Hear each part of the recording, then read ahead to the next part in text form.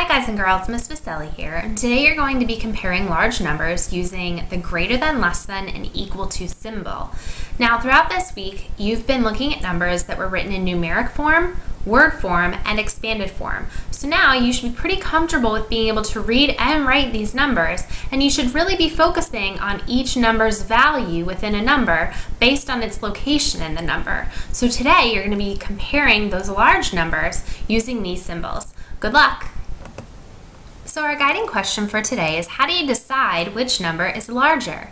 For example, if we have the number 762,200 and the number 759,999, we want to be able to compare them to say which number is larger.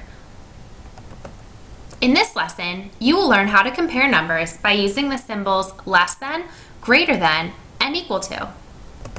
Let's review our symbols. Is the less than symbol. And we know because when we use it here in this number sentence, 56 is less than 98. I always try and think of these different symbols as an alligator. And I know it sounds pretty basic, but it always helps me remember which symbol is which. So when I look at these types of symbols, and even the greater than symbol, I think of this as an alligator mouth. And I always think that the alligator wants to chomp the bigger meal, or in this case, the bigger number. So my alligator's mouth is going to be pointing toward the larger number. So it will be pointing away from the smaller number, or the number that is less. So this is the less than symbol.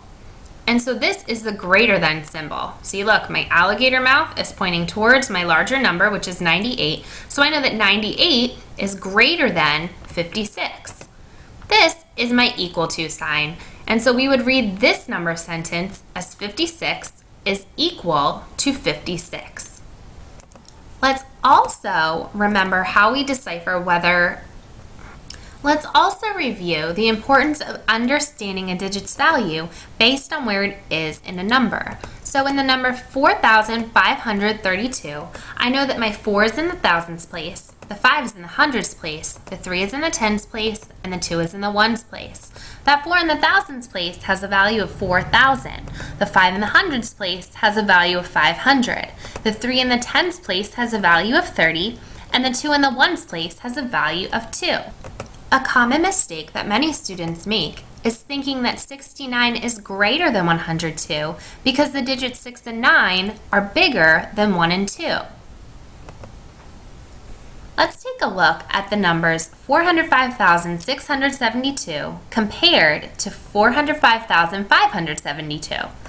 I'm going to look at these numbers on a place value chart to make it easier on myself. So I'm going to write those numbers into the place value chart and then I'm going to compare them and start with the largest number with the largest value first. So I know these numbers are large, but I'm going to start over here with the number with the largest value. So if I take a look at my two numbers, I notice that each has a 4 in the hundred thousands place. So, so far these numbers are equal. Then I'm going to jump to the ten thousands place. Both of these numbers are the same as well. There are zero ten thousands in each of these numbers. So, so far, they're still equal. I'm going to then jump to the number in the thousands place. And again, I notice that each of these numbers has a 5 in the thousands place. So, my next jump is to the hundreds place. And here, I'm noticing my first difference.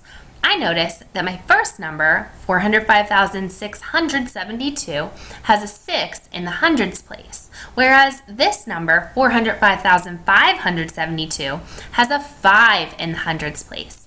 I know that 6 is a larger number than 5, so the number up top is going to be larger or greater than the number on the bottom. So in my little circle here, the place that I'm going to compare these two numbers, I can see that my 6 is larger or greater than my 5. My 6 is in the hundreds place, my 5 is in the hundreds place, and I know that 600 is greater than 500. So, I would put in my greater than sign. And remember, if it helps you to think of it as an alligator, my alligator is chomping the larger number, which is this number here. So I would read this 405,672 is greater than 405,572. Let's take a look at another couple of numbers. I have the number 7,809,005 and the number 7,880,003. I'm again going to make it easy on myself and write these numbers on my place value chart.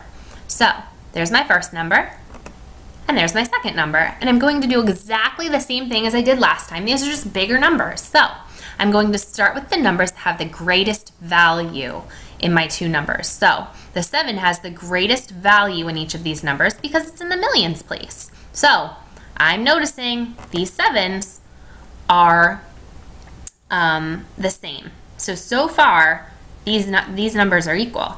I'm going to go to my hundred thousands place. These two eights, they're the same. So, so far so good. They are still equal. Now, I'm going to look at the ten thousands place. And I notice that I have my first difference. And I know they're different down here, but I'm staying with the numbers that have the largest value. So I see here that this number up top, 7,809,005, has a value of 0 in the 10,000s place. Whereas in this number, 7,880,003, I have an 8 in the 10,000s place. So, this number down here on the bottom is going to be greater than this number here on the top. But that number is first in my place value number sentence. So I'm going to read the, the number sentence this way. 7,809,005 is less than 7,880,003. So I would put in the less than sign because this number is less than this number. And it's all because of that digit in the 10,000s place. Let's take a look at ordering numbers from least to greatest. I have these three numbers, 39,402, 39,410, and 39,399. First, I'm going to line these numbers up by their place value. So see how all of my ones are lined up, all of my tens are lined up, my hundreds, my thousands, and my ten thousands.